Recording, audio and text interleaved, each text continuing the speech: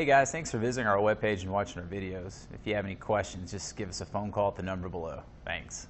The 2018 Ford F-250 Super Duty. Head-to-head fuel efficiency, head-to-head towing, head-to-head torque.